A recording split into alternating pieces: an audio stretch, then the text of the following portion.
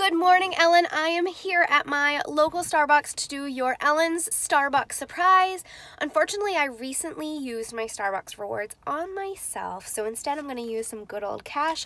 I have $30. I'm going to spend $25 on unsuspecting people, and I will give the other $5 to the barista so that they can properly get tipped.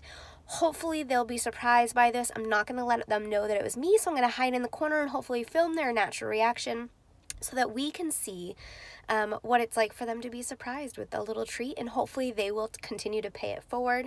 I wish you the happiest of birthdays coming up and thank you for everything that you do and for spreading this kindness and for encouraging us all to be kind to one another. I love you.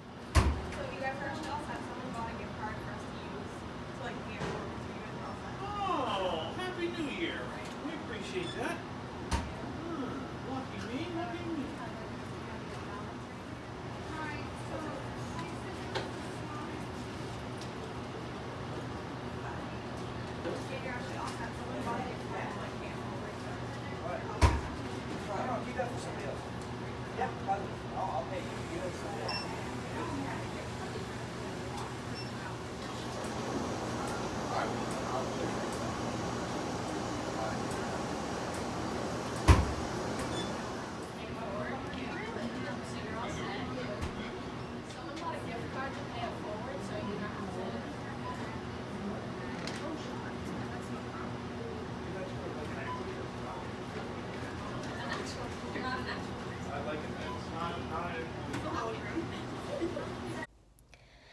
Ellen, that went so much better than I could have anticipated.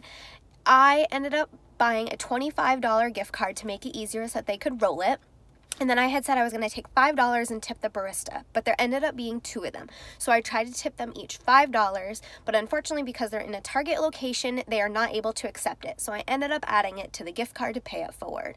Now, the first couple that came in was pleasantly surprised by it all and said, Happy New Year to me. Um, and then the second person that came in, he actually ended up declining it because he wanted to continue paying it forward and said, Give it to somebody else.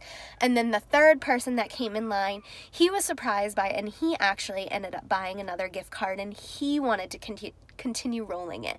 So, after being in there for approximately 40 minutes, the gift cards are still rolling. Nobody has actually paid for their own food. I guess in a sense they way in a way that they have because now they have all continuously bought gift cards and added to it. So it is still going. Your Methods are working and kindness is being spread today. Thank you so much for allowing me to be a part of this, Ellen. I hope you have a wonderful birthday. Bye.